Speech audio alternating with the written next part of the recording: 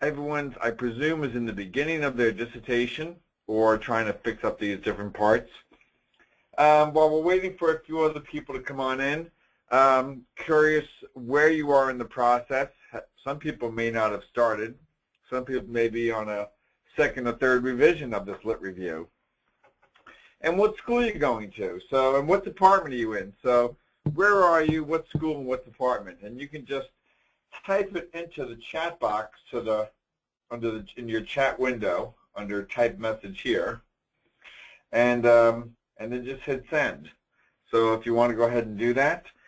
Also, we're going to be taking questions around any part of the introduction lit review, and, um, and if it's like other ones, we kind of run it loose around here where you can ask questions about any aspect of the dissertation process, and to the extent that I can answer them, I will be glad to.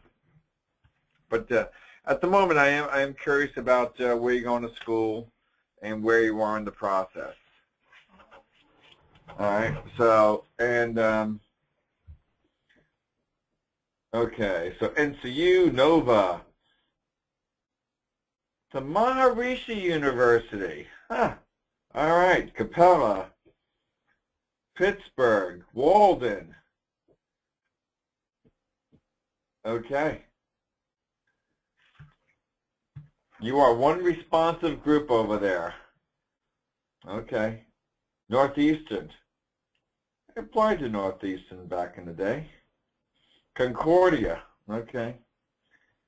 Lots of Capella, Waldens, Valdosta. And how did you hear about us? Did you hear about us through, I mean, I, I know that we, you know, go out to Walden and Capella, but uh, how did you, how did you hear about us? Did you, were you referred by friends and colleagues or, you know, how did that occur? Emails or, you know, what's going on there? Just go ahead and type it in and we'll, I'm going to keep going here. Um, before we get started, you know, my training was in clinical psychology. So part of my job is to keep everyone fully motivated and uh, to keep myself motivated too. So, you know, and sometimes, not always, but sometimes, you know, you can get kind of feeling victimized, right? I'm in a dissertation process, so my edits are going on, or I'm not getting the support, or whatever it is. And I just want to tell you that, you know, if, when we step back for a moment, we put ourselves in situations and it's our job to get ourselves out. Okay, so um, you know, just when you're feeling like the world's against you a bit, realize we're responsible. Let's get ourselves, pick ourselves up. Let's get ourselves out of here, and let's, let's get on to the life that we want to live. Okay. All right. With that said, we're ready to get started here. Um, we're ready to get going. Okay. All righty. So, um, introduction lit review. Again, ask questions. Oops. Ask questions as you'd like. Uh, let me see here. Let me just present, present, and uh, well, okay. So ask ask questions as you'd like, and uh, they'll get passed over to me, and um, we'll get started. Okay. So the dissertation, uh, kind of look at it as an hourglass.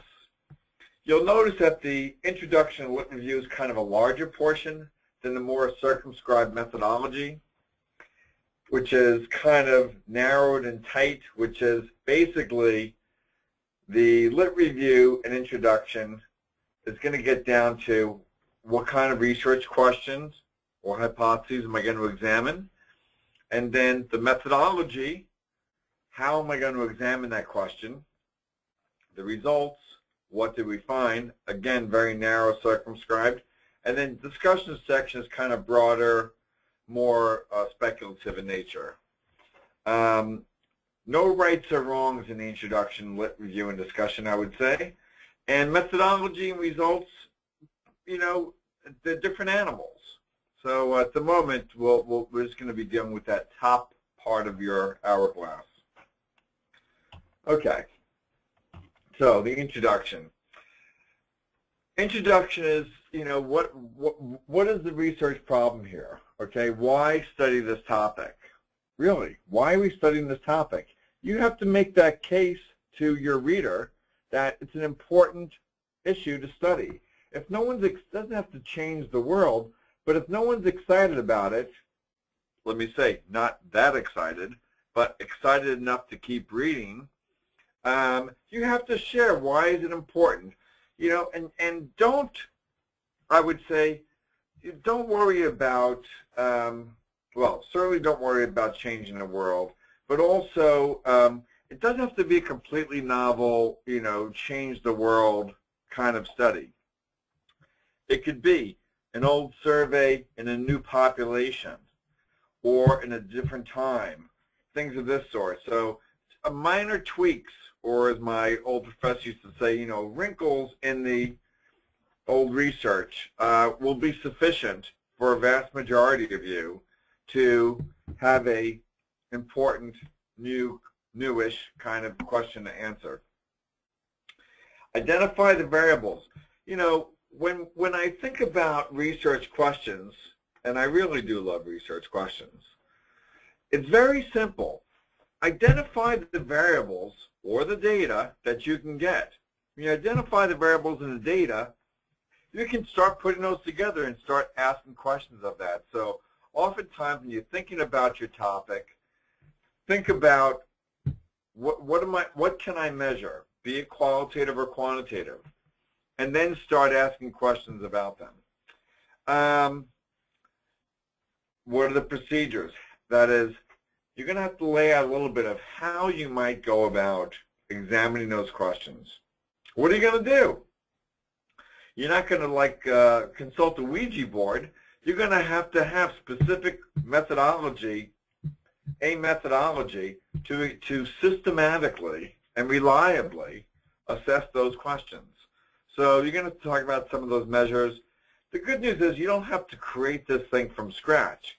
You should, you know, be looking at previous research articles, okay, and looking at those methodologies and looking at those survey instruments and looking at those participants. Don't worry about it being completely novel. Use what's out there, particularly in their discussion chapter when they discussion section of those peer-reviewed articles, they're going to say future research might look at dot, dot, dot, whatever that is. Now, you might just want to take a piece of that. So you don't have to redo, you don't have to reinvent the wheel. You can look at other research and say, hmm, that's interesting enough that I'm going to investigate it or investigate a piece of that. All right? And just a few pages in length. Okay, so literature review. Literature, body of work, review, a survey of. So you're just surveying the body of work of what's been done in that topic. It needs, you know, they say it needs to be, you know, uh, within past five years is the typical kind of time frame.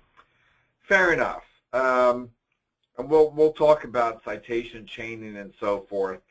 Uh, but but you know you should have uh, it needs well not should have your requirement is it needs to be within the past five uh, five years or so. Obviously, the seminal work in the field, like the Rosenberg Self-Esteem Scale, I mean, you're going to have to reference these old guys and gals who kind of started this thing, but uh, but but then move it up forward to uh, present day. By the way, there's many people who, um, you know, it's, sometimes it takes time to be moving through this process. Try to keep those articles really uh, relevant because if you're out a year or two, or if it's at the five-year mark, and then you wind up in an extra semester or two, and then your articles fall out without the outside of this five-year mark, well, then you're going to have to go back and do double work. So try and keep it as closely as possible to the to the current day. All right. Um, your critical thinking skills make a difference here. And what I'm saying is that um, you have to present an argument to that committee. It falls in line with the interestingly interesting uh, kind of concept you have to present an argument. Why, why, Paula, are you conducting this study? Why have you selected this topic? Okay. Um, so it, it, your your your thinking skills, critical thinking skills, makes a difference. What are the strengths and weaknesses of this thing? You're going to have to think through that. Writing skills matter. My, I keep editing until I run out of time. All right, and I edit and edit and edit and edit. Um, that's the way you know. until you know, set a time frame. You got to get it off at some point. But you know, your writing skills matter. Things need to be organized. I mean, if you want an exercise, take a paragraph that you've written, okay, and read the paragraph sentence by sentence backwards. Start from the bottom, last sentence, make sure that sentence can stand by itself. Then need to read the second to last sentence. Can that stand by itself? And so forth. Each sentence has to stand by itself. Each paragraph should have a topic sentence. That topic sentence should, should then be developed by those other sentences in there. So keep things organized. Subheadings make a difference, right? You have a whole bunch of paragraphs. All of those, so let's just go back for a second. All those paragraphs needs to be sequenced appropriately. So one thing to do is make sure that each of the sentences can stand by themselves. The paragraphs are coherent, that is with one theme or one topic or you have a topic sentence that says, I'm going to talk about A, B, and C, and then the paragraph develops A, B, and C. Another exercise after you do the sentence by sentence business is that what you've written for each paragraph, write out what the emphasis of that paragraph is. Then make sure that all of those topic sentences in those paragraphs actually make sense, right? we're telling a story. That story needs to be comprehensible and remembered by people. So write down what is the paragraph intention, what is the topic there, make sure they all kind of hang together. People come to us and say, my professor said that it doesn't flow together. Well, this is exactly what we're talking about. The paragraphs have to flow and have transitions among them the, sent, the paragraphs by themselves have to flow and be coherent. All right. This fourth bullet, it's a tough one, although, you know, everyone's paying for things, but, uh, you know, stay in charge of the study the best you can. And I say the best you can. Um, you know, they're going to want to put their fingerprints all over it the chairperson, the committee, the IRB, okay? That's just the nature of the beast. Um, to the extent that you can direct it, great. To the extent that they're going to want to put their fingerprints all over it, you know, give up a little bit of, about your pride in my baby. Call it our baby and let's move it forward. Okay. Introduction. Let uh, tell readers what's been done. Identify the gaps in the literature. That's really important. That's where that critical thinking comes in. When you look at different lit reviews and you're summarizing um, those different articles, you can see in it they're going to tell you the limitations in that discussion section. Read them, use those, and say, hey, Article A, B, and C all have these limitations, small sample size. Articles D, E, and F had these limitations. They only studied men and not women or whatever the limitations were. Okay? Those are the limitations that are going to move you forward and justify your study. That's very important. Okay. Um, search relevant information. That's obvious. Okay. All righty. Uh, any questions? Let's get some questions in here. So Paula asked, um, how do I narrow my topic? I'm going to go back to where I was before. Um, it's the, the question is, what are the variables that you want to study? And then, and if you, Paul, send me a couple of variables, we'll figure out a topic right here before we get going. Um, how do you know uh, you're getting the most important sources? Well, how do we define an important source, I guess, is one question. Um, you know, you should we, should know. I mean, at least I did, and you should know. You know who who were the important people in the field, who are the leaders in the field, who are the prolific people. Um, those are those are going to be good guides.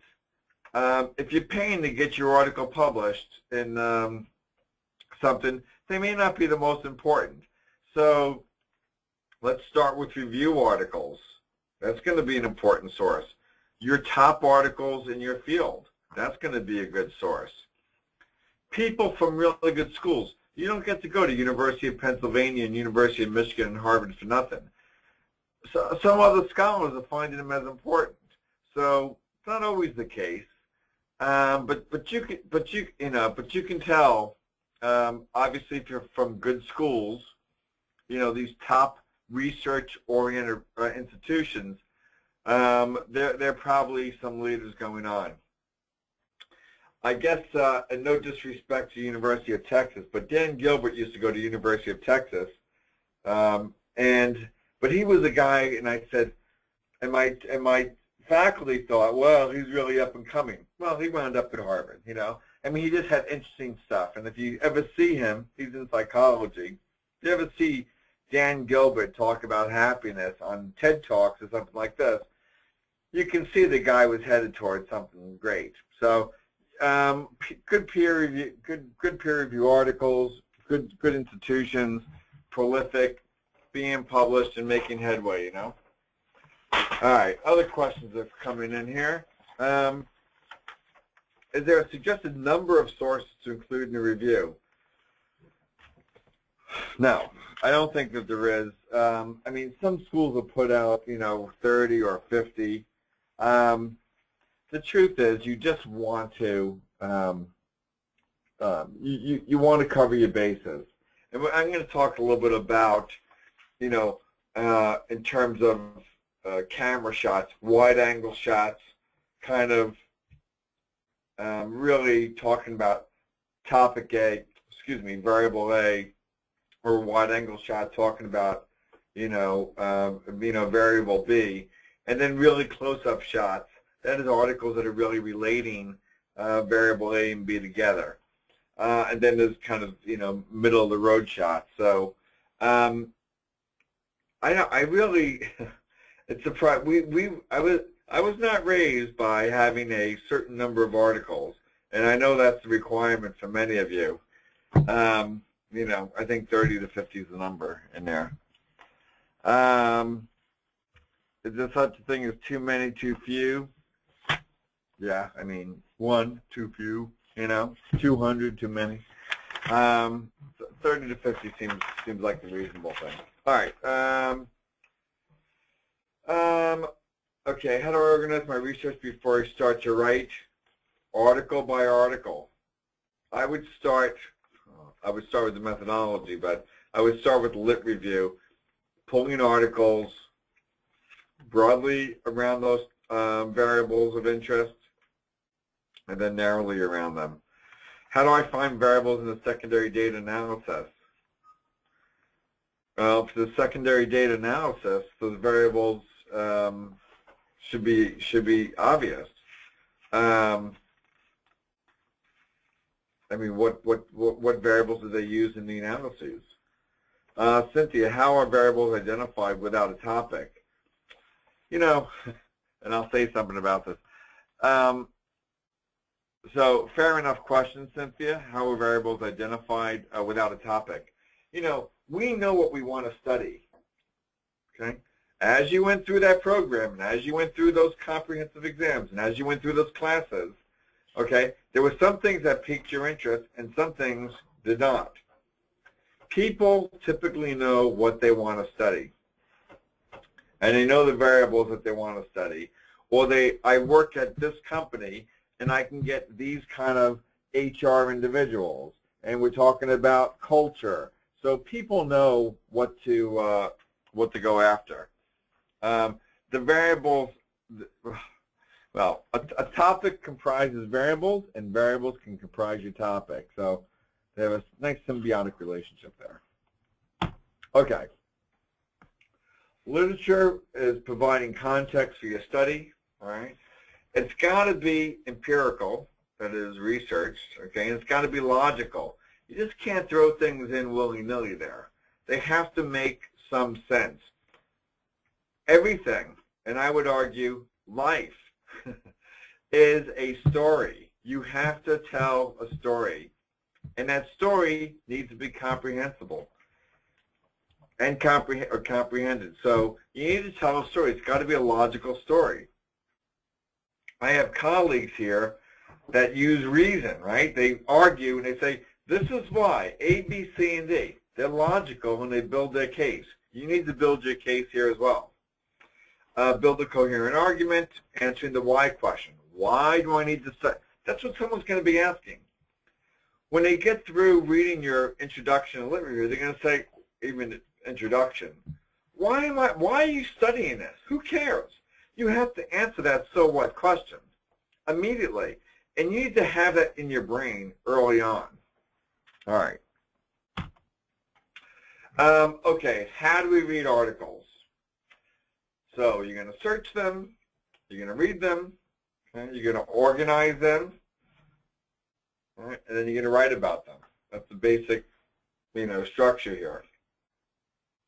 When you're searching, keywords matter. So I'll tell you, we as a company help you do that library work. We help you search. We'll put them in a Dropbox for you. That's right. I'm talking to you who doesn't want to go to the library and say, I can't get the article. That's why I can't get moving. E email us.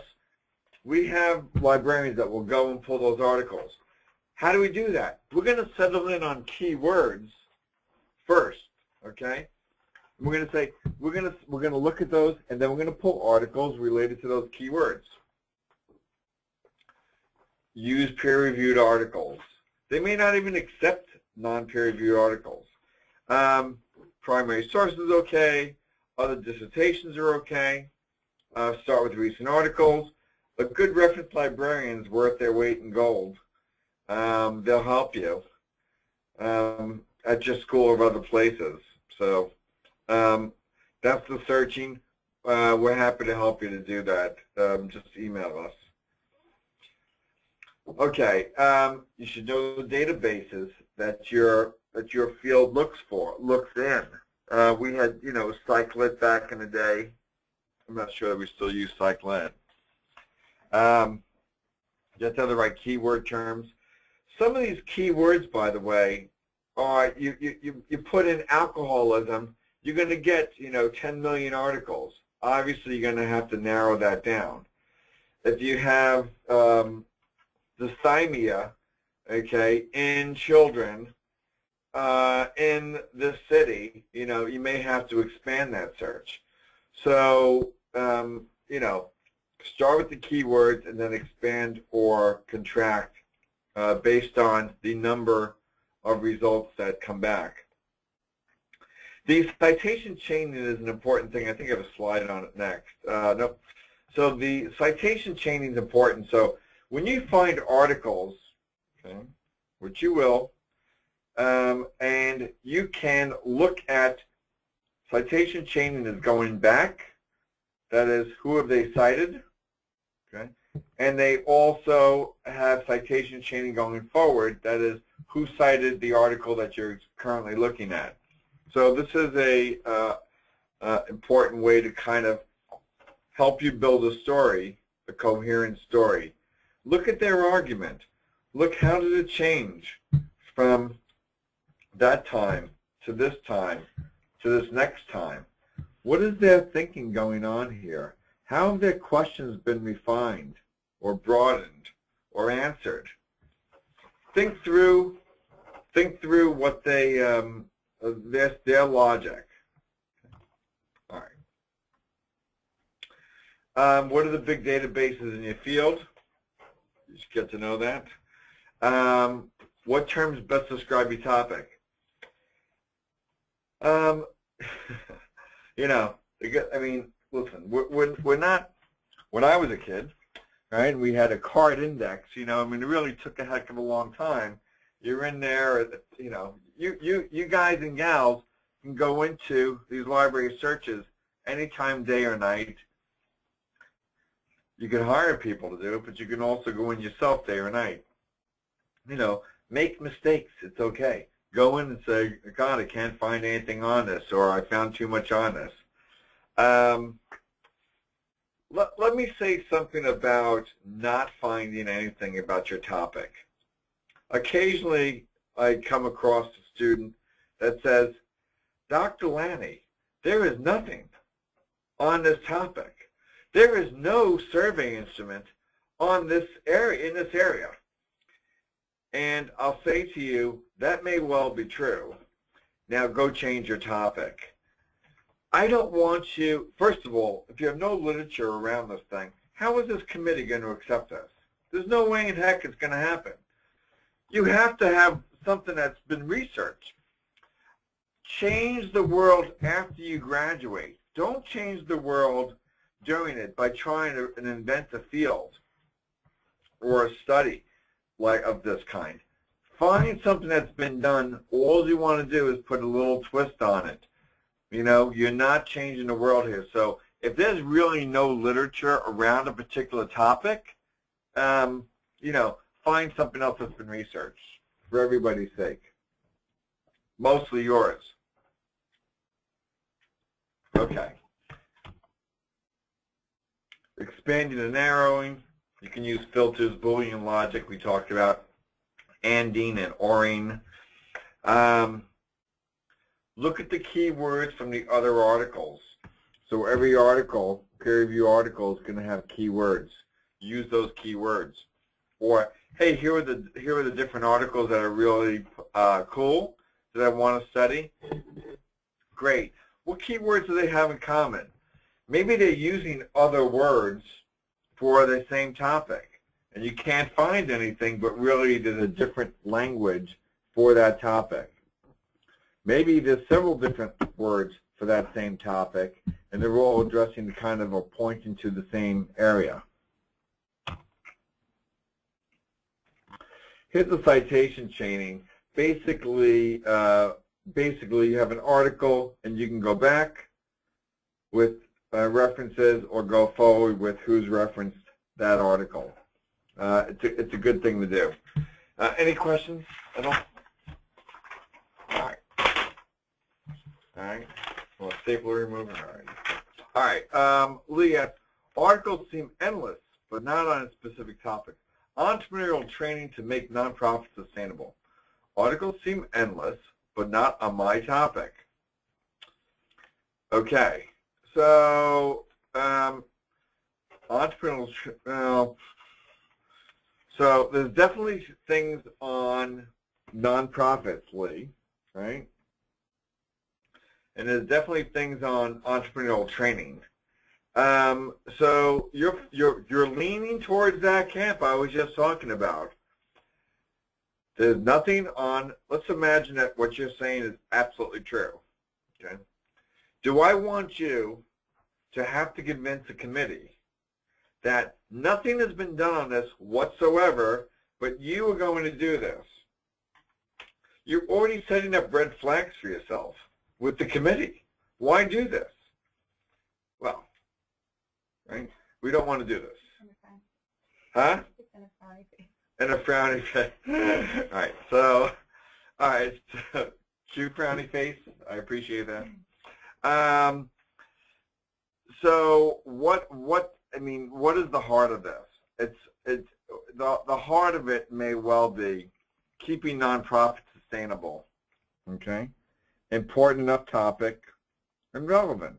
Right? I mean, people want to keep nonprofits are critical to the whole engine of the company, particularly to those underserved.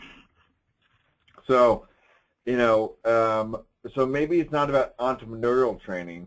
Maybe it's about different kinds of sustainability around nonprofits. All right, and maybe entrepreneurial training could be an aspect of it. What else are nonprofits doing, the sustainable ones versus the non-sustainable ones? What are they doing differently? and talk about perhaps and research, okay, what are, what are the sustainable ones nonprofits doing? What's a sustainable nonprofit, by the way? Somebody in business for 10 years? Someone who's had a grant for five years and gets renewed? I mean, start drilling into that. So start with the core, nonprofits, sustainable, perhaps versus non-sustainable, and then what they're doing. Maybe look at the kinds of training that they've done or kinds of um, outside of entrepreneurial training. Maybe it's other kind of training. So start with the acorn, the, the core part of what you want to look at. Um, Nadine asked, would it be would it be wiser to uh, to select variables based off a survey tool? I love that. I would say survey tools. Well, if, if you have different, let's start where you are. If you have a survey tool with different subscales, um, you know, let me just take the MLQ, for example, um, the leadership questionnaire, which has several different leadership characteristics. Yes, you can start, if you have a tool that has different categories or different variables, uh, that's a fine place to start.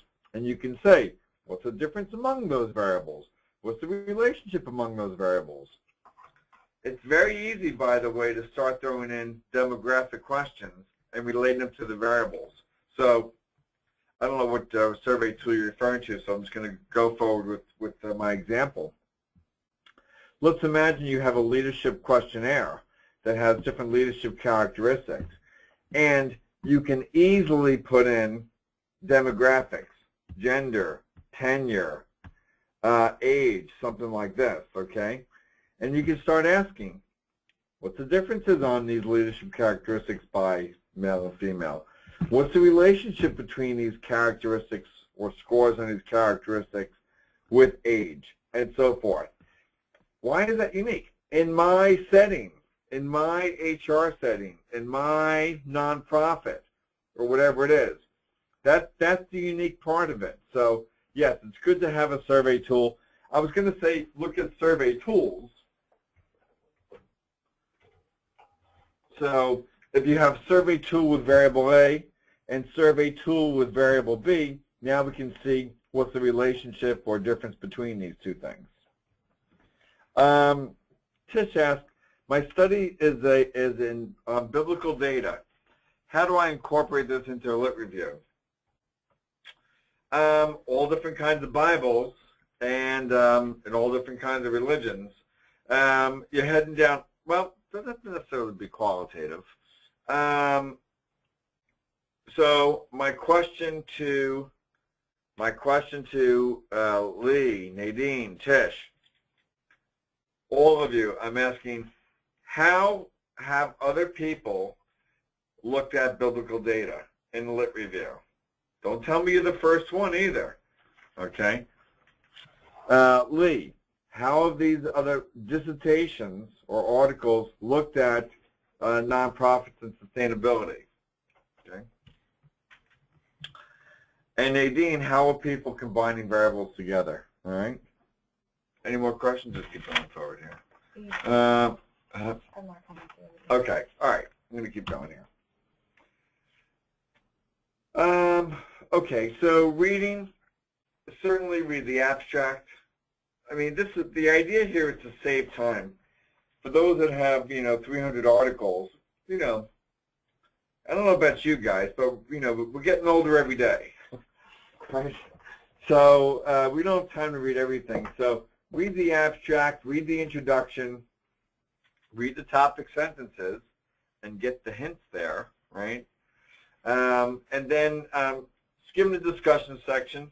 And then if, if it finds interesting, if it looks interesting, you know, read the article, read the rest of it. But uh, but definitely look at look at the abstract, um, look at the topic sentences, look at the discussion chapter, and and certainly the method and results. If anything, to say, hey, gosh, this is um, uh, th this is the kind of approach that I can get my head around. Hey, this is they have the right variables. Okay, something of this sort. Look out for some of these bullet points below, okay? What's the problem or research question being addressed? You'll notice in these peer review articles, typically it's pretty darn clear. It's in the title, right? It's got to be in the title.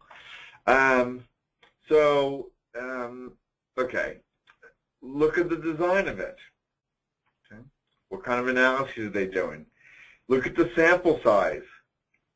Okay, if it's got a crazy huge sample size, this may not be the study for you or the or the um, uh, the variables to study. So all of these things at the beginning of the day, you want a doable study. At the beginning of the day, you want a methodology to accomplish that doable study. The methodology is the key part here. So I would drill into that methodology pretty closely. I would look at the title, I would look at the abstract, I would look at that method. Is it doable? Okay. Um, the method's going to talk about sample size. It's going to talk about the different measures. That is the survey instruments. It's going to look at the procedures, describe the procedures. How exactly did they go and administer those surveys to those participants? Um, you, you should always be asking the so what question.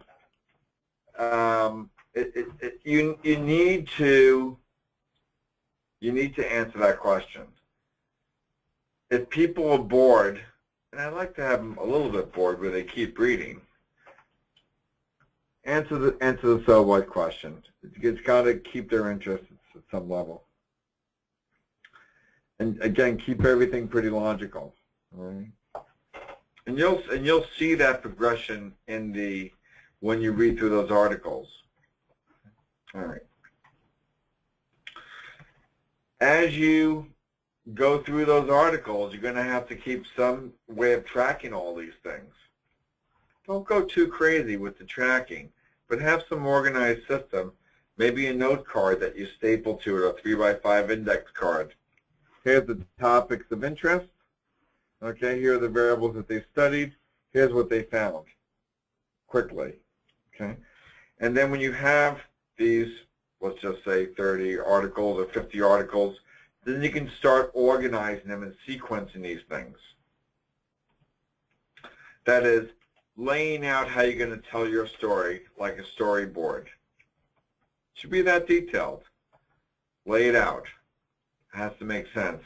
The um, the different types of articles, uh, I don't know who I grabbed this from, you know, just the, the movie analogy of this long shot, medium shot, and close-up shot. You know, if you're studying, you know, cognitive ability in whatever, chimpanzees, okay, um, you know, the, the, uh, the long shot is going to be an article that talks about cognitive ability and a different set of by itself in humans and in chimpanzees. And then you're going to have um, um, other other articles dealing with just cognitive abilities, how they assess it, when they what kind of cognitive abilities, what kind of IQ tests, and so forth. Those are the long shots. Just drilling into one of those topics and looking at the whole field of that. The close-ups are going to be, hey, these five articles actually studied cognitive ability in chimpanzees. And those are going to be the, you know, kind of the end of the lit review and where they're going to say, this is what we studied, this is what we found, and here is the other kinds of research we can, we can look at. I want to say something about these peer-reviewed uh, articles too. Academics, on the whole, are incredibly generous people with their time. And if you have an interest in cognitive abilities of chimpanzees, you call them and you email them, they'll often answer the phone. There's not even a gatekeeper there. You can call up and they'll, they'll answer. Um, about 20 years ago, I was interested in attribution theory. And the big people that were alive at the time, they're probably still alive, was Bernie Weiner at UCLA. I lived in Long Beach, California. Bernie Weiner at UCLA and, uh, and, and Lee Ross at Stanford. I call both of these guys up, and they both invite me to their offices. I mean, I was a, you know, a kid and a master's degree, but they said, ah, you've taken an interest, and they let me come to their office. And these guys were well published and, and um, you know, really leaders. Uh, they've made, you know, they've made contributions. They'll answer the phone. If they don't answer the phone, the heck with them. Call somebody else. But a lot of them do. And uh, don't waste their time. I mean, get your act together before you call them. Um, so I, I, just want to say that, that that these people don't be afraid of them. Um, they're they're very human. They're not like business people that are much more closed off and, and you really can't get to them. Um, these academics you can get to pretty easily, I would say. Okay. Uh, organizing your search, keep track of your databases. There's different management software. There's three of them that you can look into. Uh, writing, you don't have to uh, cite everything that you uh, uh, everything that you read. Just have enough to tell your story, okay? with, with perhaps a little bit more, but not too much more. You just want the story. Um, and, and again, you don't want to be putting articles kind of just stuck in there. Don't quote to death. Uh, when you do a plagiarism check, you're going to set off a bell of some sort. Uh, subheadings are enormously helpful. It keeps the reader on track and perhaps keeps you on track. Hey, here's a section I'm really working on. Here's a subheading around that. So um, sub subheadings are helpful to keep things organized, uh, you, but particularly the reader. Summarize the sections as often as possible. Keeping it, people have to keep things in mind. Um, transition between paragraphs, it's just, you know, decent writing skills. And look at these other articles. You can see, look at, pay attention to how they transition between these things. Why do they transition? Because you don't want to abruptly change topics and you want to tie things together so things flow smoothly all the way through. Okay? All right. Um, this was um, the conclusion of the lit review. Um, um, so you want to solidify the argument of why you're conducting this study. Okay? Why the study needs to be conducted. And I uh, pulled a few from my own dissertation which is getting kind of dated these days. Um, and here, here was my kind of summary. You know, several questions were stimulated by the these this study. I will discuss the problematic findings and construct hypotheses that I might blah blah. One puzzling finding from I don't know if it was totally puzzling or not, but I said it was puzzling, and the reader thinks it's puzzling, and I'm going to answer, and I already know the answer before I even write that sentence.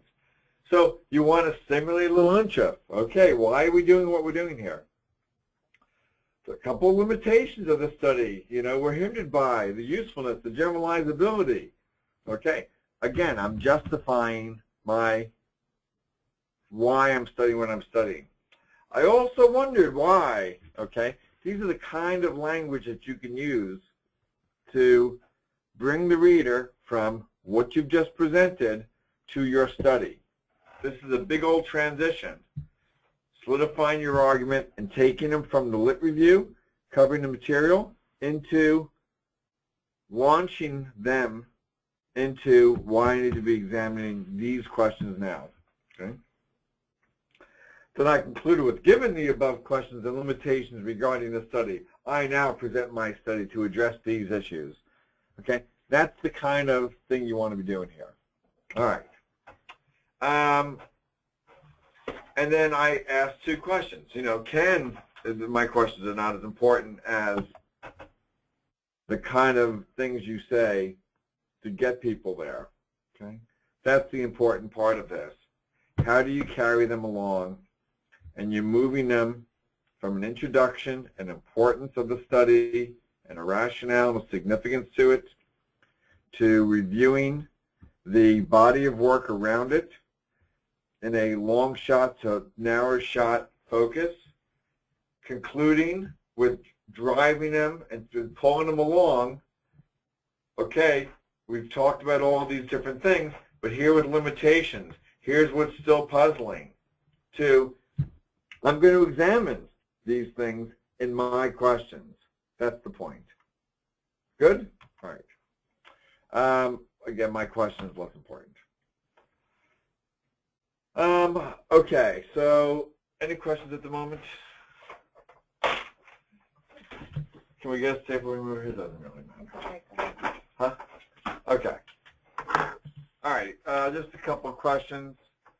Uh, Patricia, um, okay, and uh, Aisha, Aisha, Patricia, Thurman, Lee, Patricia, okay. Um, okay, so here's just a couple of questions before we get to the qualitative piece of these things. Okay, my topic has a lot of research in Canada. Should I keep it from the keep it separate from the U.S. research or combine it? Listen, Canada needs all the help that we can give them. Actually, I don't. Know.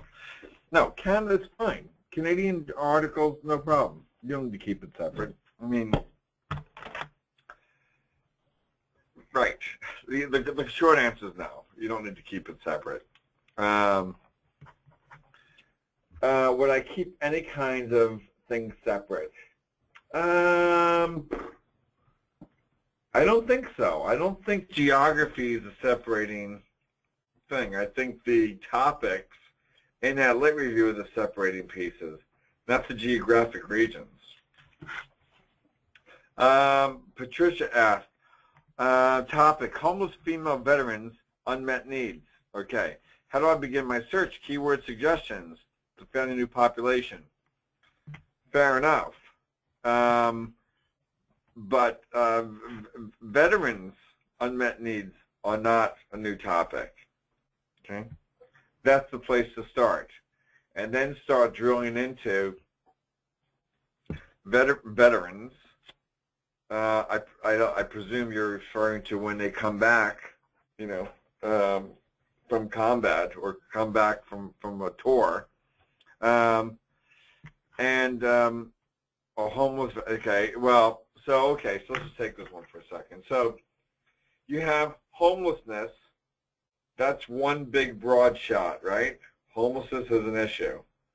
Homeless females, more of a narrow shot. Veterans, needs, that's a, that's a big shot. Homeless veterans, that's kind of getting into that moderate shot. Then studies around homeless female veterans very narrow. Um, so those are the key words. Start broadly, homelessness on one hand, veterans needs on another. Female homelessness, female veterans, homeless female veterans. Those are the kind of the drill downs into this thing. Um, and an important uh, topic, obviously. This is, you know, uh, homelessness got a little spot in my heart. So um, let me know how that goes, Patricia. Um, approximately how many pages should a good review be? I've seen them, I don't know, 30, 50 pages, um, somewhere in there. Don't be scared by that, by the way. It's, um, you know, once you start doing article by article um, with references, uh, you know, somewhere in there. I, I, I don't equate pages with good, by the way. Um, can you review everything in one page? Probably not. Does a 200-page review mean it's good? No, I don't. So um, the idea is that you're telling a story and, you, and you're being comprehensive uh, in that storytelling. Okay, um, Thurman, uh, using LPI, Leadership Practice Inventory, as an instrument. How do I include this information in the intro and lit review? Well, the LPI, as I recall, has got a, um, and, and, I'm surprised the uh, the MLQ does not, but the LPI, I drilled into this at one point, and they had all different articles around all different populations that use this. They basically gave you a lit review sitting there on their website with all the different articles and it seemed to me they even, I want to say that they even gave you an abstract around each one. Um, that's got, that's one of the few things there, Thurman, that they have quite a bit around it.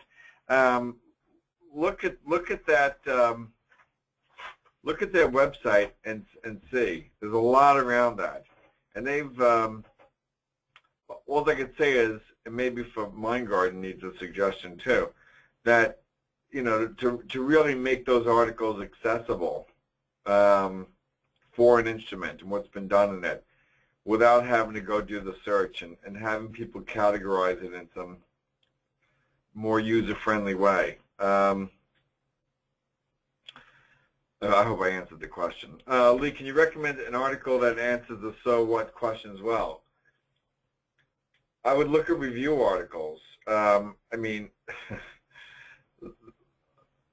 you you have to ask the so what around a particular topic. You know, for example, why study homeless female veterans? Someone has to answer that question. Okay? You have to, you know, fair enough question. Why, why should I care about homeless female veterans? There's lots of answers to that. It could be because females are, are, are a different breed than male homeless victims, because homelessness is a problem, and it's a big problem perhaps for veterans. Perhaps we have a different sense of responsibility around veterans. They weren't homeless before they got there. They weren't homeless during, but somehow they've come back and they've been traumatized. So maybe we have a different responsibility to them. All of these are different ways of kind of broaching that so what. We, we care because they're female. We care because they're homeless. We care because they're veterans or other things. Okay? Um, we care because they're a large population. Okay, there may be large numbers. If 80% of the females that come back become homeless, we have an epidemic on our hands. Or maybe it's 10% or 5%, and that's an epidemic. So we can approach the problem from different points of view. So that's just off the top of my head. So it's a so what, not overall, it's a so what around your particular topic and how are you going to approach that? Heads up, you want to be thinking about how to, you how you're going to answer that. Um, so, but but but but that's how you would start drawing into it. Um, okay. Okay. So um, qualitative research questions with different kinds of um, qualitative approaches, phenomenological, kind of Moustakas-esque. Talks about lived experiences. Grounded theory tries to build the theory. Um, hypotheses. So, so what, what I'm doing here is saying after this broad introduction, I'm studying homeless female uh, veterans. I'm doing the lit review, okay, and I've, I've, I've looked into each of these kind of keywords. Some of the articles have combined these keywords. I have them in a good sequence. My writing is clear and coherent. Now I'm moving into, you know, uh, why am I, you know, what, what questions am I going to examine? What was puzzling? You know, what, what is puzzling? Why, why is there a higher proportion of female homelessness, veteran homelessness than males? You know, why study this? So these are different approaches to kind of getting to that of, you know, what is the lived experience, perhaps, of these female veterans? Okay. Um, you know, what, what's, what, what is helping and hindering that process, or what's, what, what's causing that issue? It's a different question than understanding what it's like to be a homeless female veteran of what's driving those causes? What's the theory behind that? Well, these women had a propensity for this issue. Or women in these situations are dealing with things differently.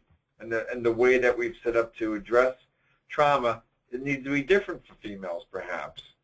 You know, what are the contributions of the system, okay, or the city where they land, or the reaction to the community from the community?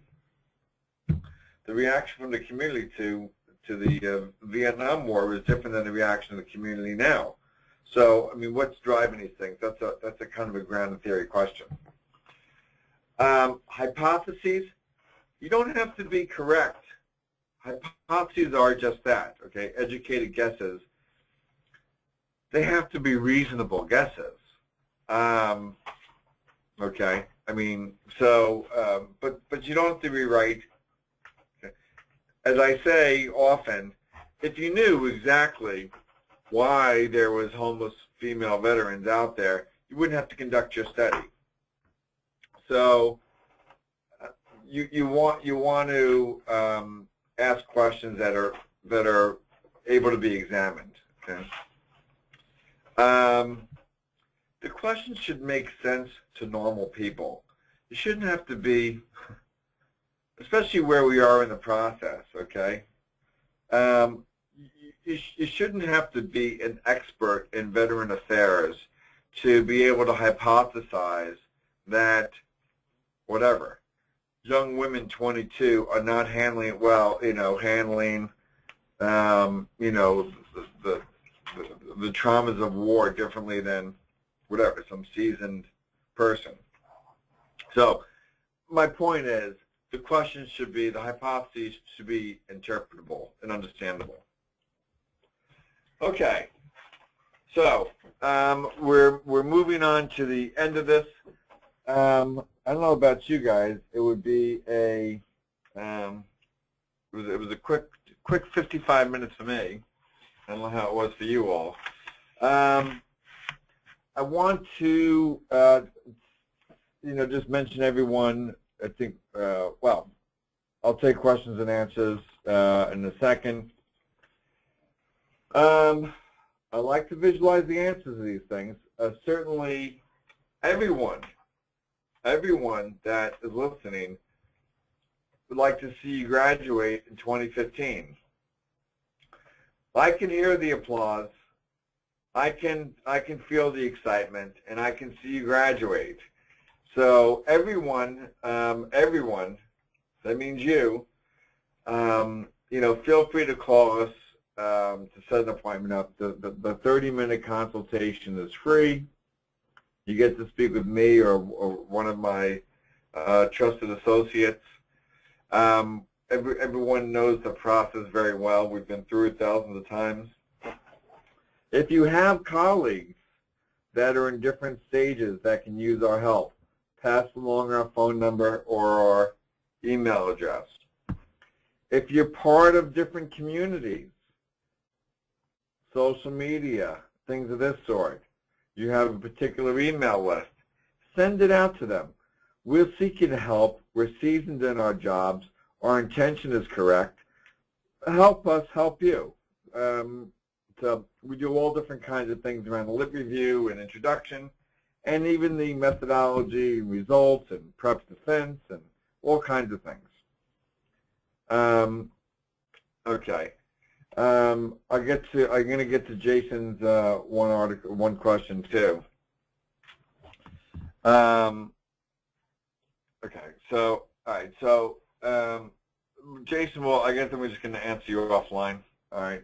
Um, I want I want to thank everyone for for your questions. Um, our next webinar is on methodology in IRB. It's a don't miss one. Uh, it's 8.30, November the 19th. God, we're moving into fall already. Can you imagine that? Um, next thing we, you know, life goes on, doesn't it? And we're moving into Thanksgiving and then on to Christmas and Hanukkah and the New Year. Let's keep things moving, guys and gals. Um, I want to see you graduate. And um, anyway, thanks, thank you so much for your participation, your questions, a lot of you. And uh, we'll see you on the 19th at 8.30. And um, Jason, feel free to, to shoot us an email, and I'll see if I can get you answered offline. Uh, okay, and uh, I think, um, ah, dissertation workshop. Um, for those um, that want to, we have a nice map here too. This is the bargain of bargains. For $199, you have an all-day workshop with me how to get through the dissertation in one year. The fee is reasonable. The lodging is reasonable. All you have to do is get there. Dallas, Fort Worth, particularly if you're in that area, okay? Um, come on down. Every, this, we've made the price affordable for everybody. 200 bucks. You know, what is that? It's 20 Starbucks coffees or some darn thing. Um, so the fee's reasonable. You can um, call, you can email us at that info at statisticssolutions.com, okay? Info at statisticssolutions.com, um, and say that you want to attend that workshop, okay? Uh, at some point it is going to fill up, or the fees may go up as time goes on. This is a, you know, pre-sign-up fee, but really for, for under $300, you'll get something out of it uh, no matter what stage you're at. Pass it along. Um, last time we did one in Atlanta, it was fun. Uh, it was it was intimate, and um, you know it was it was a good. Um, and it's right by the air. It's right by the airport. You don't have to rent a car or anything. Despite the fact there's a first rental car there, uh, you just uh, tram over there. All right. So join us for the workshop. Join us for the webinar. Pass this along. Again, thank you all for attending, and uh, we'll see you all uh, in in November. Thanks so much. Have a great night. Bye, Bye now.